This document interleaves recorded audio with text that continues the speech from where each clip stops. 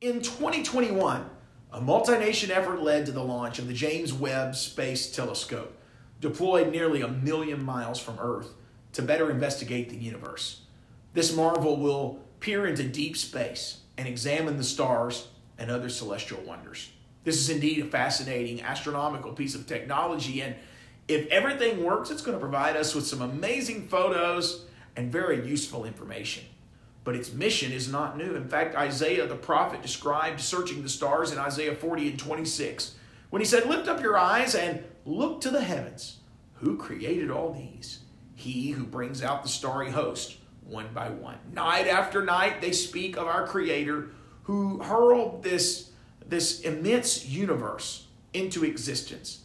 And with it, the countless luminous bodies that silently grace our night sky most every night that we can see if the clouds aren't there. And it's God Himself who decided how many of the shining objects that there are. Psalm 147 and verse 4 says, He determines the number of the stars and calls them each by name.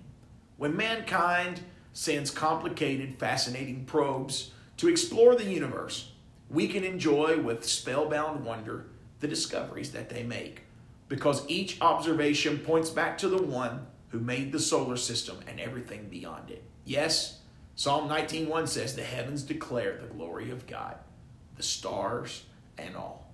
And that is today's Monday Manna. Be blessed, friends.